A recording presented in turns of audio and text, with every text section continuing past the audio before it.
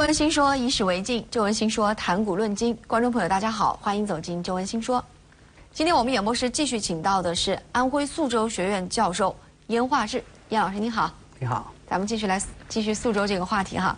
咱们上一期的节目当中说到了，在宿州这个地方聚集了很多的名画文化名人。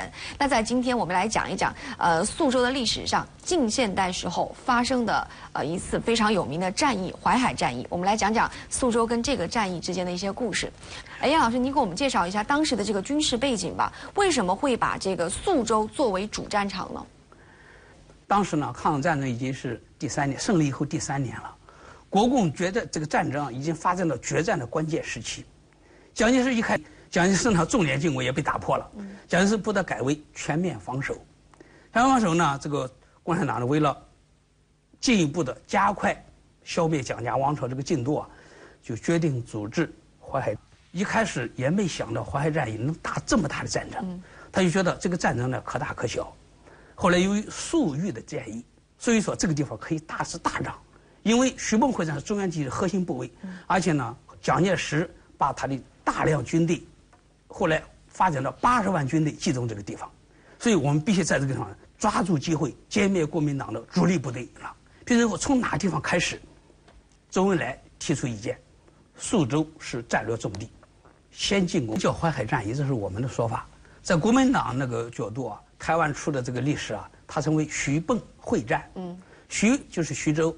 江苏的蚌就是安徽的蚌埠，嗯，而徐州离这个宿州，蚌埠离宿州距离差不多，嗯，就是说宿州呢是作为徐蚌会战的一个终点，嗯，如果按照国民党的布阵来说，徐蚌会战是个长蛇阵，徐州相当于它的长蛇的七寸，嗯，是个关键的咽喉部位，所以如果把宿州作为主战场。就等于切断了他的供给线，掐住了长蛇的七寸。魏成、邓小平、陈仪、粟裕、谭震林，那都是中国的有名人，有的是元帅，有的是大将，有的上将指挥下呢，把他们全部都歼灭了，全军覆没，歼灭了。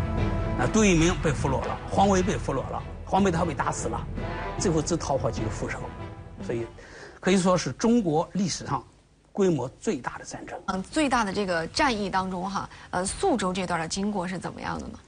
毛泽东代表中央军委，给刘伯承、邓小平、粟裕专门发发了几份电报，其中讲到直击宿州，切断徐蚌路。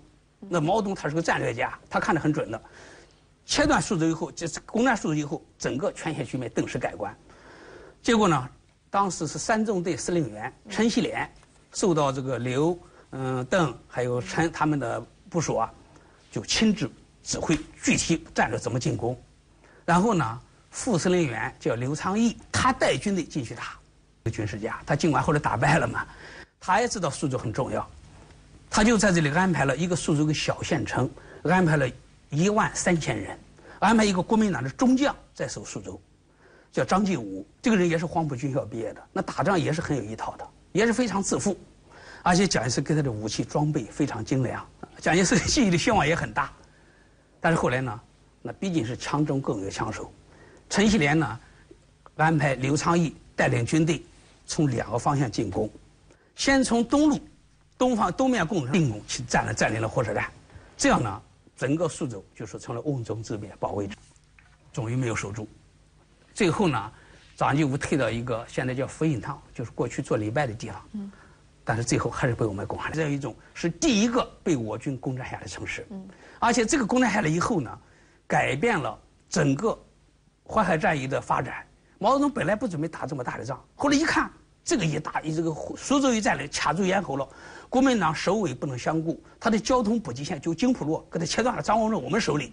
所以这样呢，毛泽东决心在这里发动一场淮海大战，嗯，就是大量的歼灭有生力量。这样呢，不仅可以改变中原地区的战况，还可以改变全国的战局。嗯，结果这个战争胜利以后呢，也果然实现了当初的战略目标，就是说他把这个国民党的我们是六十万军队，嗯，把国民党的八十万军队歼灭了，这是军事上的奇迹，曾经引起了斯大林的这个和赞叹。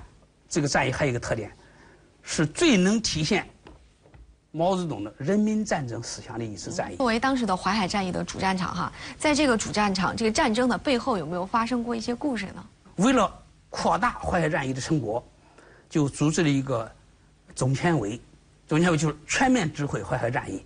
总前委呢由五个人组成，他们五个人就在宿州的萧县一个叫蔡洼的这个村子开了一次前敌工作。这个战争的结果导致了蒋介石下野。淮海战役之后，蒋介石宣布下野，让李宗仁代理总统。那么这个对全国的震动那是非常大的。最后淮海战役战争阶段，国民党可以说是丑态百出，那个兵败如山倒。国民党本来军纪又差，他们最后呢没有吃的，被我们压在就是十几公里一个小圈里边，几十万军队，那吃没有吃的。蒋介石就空投，但是呢，我们有高射炮，有什么东西，他一丢就丢到解放军阵地了，丢那个极少，少部分丢到国民党那个军那个军军队里边呢，他们就开始抢。结果抢的中间就自己打死了好多人，那么粮食投就那个投空投的很少，他们就组那军马又有限，还没等组出来，士兵饿的都搁那等着，等那个士兵就搁那看拿个枪，不说谁敢吃我就打死谁，但士兵后来就不管他的旧枪，他也不能都打死，打死谁打仗呢？后来士兵一抢，这当官一看不行，哎，我也抢吧，就他也带头抢起来了，最后就乱作一团。这边解放军呢就采取攻明，说这个俘虏的这个局面呢就是非常有戏剧性。他就化了妆，抹上灰，穿上普通士兵的服装，跟人逃跑了，跑到萧县。跑到萧县呢，当时当地老百姓觉悟非常高。他碰到一个农民，他赶紧递上一块金戒指。哎呦，老乡，你拿走吧，你别吱声，我们走了可以点吃的给我们。他说好好好，他当时也不敢说，因为那人手里有枪。回去以后就跑到指挥就报，就指挥部去报告。包括呢，当时那个当地指挥部的也就是个排长、连级之类的，哎，听说带俘虏了，好带来了。一带来看看呢，这几个人穿的是普通士兵的衣服，但是看着白白胖胖的，那个脸灰都是抹上去的。还有呢，那个有一个问叫什么名字，有人说我是军需处长高文明，他就看着一回呢，从包里边掏出一个呃牛肉干，一回掏出一包香烟，他一看这香烟非常高级的，他觉得有戏。这个人不绝不是个军需处长，一般抽不了这个烟。拿出一个打火机，是精巧的派克打火打火机，是美国进口的。但是也没估计了是杜聿明，这是总指挥啊。后来他就关那个地方，关了又给了一点东西吃。过一会，这个出来了，让他们关在里边。一听说，哎呦，那个高文明自杀了。他一进去看看，满脸都是血，倒在地上，嗯，好像不动了。他一摸摸还有气，那是装死了。然后呢，赶紧给他救过来洗洗脸。说你到底是谁？我们已经知道了，因为早人已经认出来了。他说我就是杜聿明。这时候才承认的。嗯，好了，感谢收看本周的《旧闻轻说》，也再一次谢谢燕老师做客我们的演播室。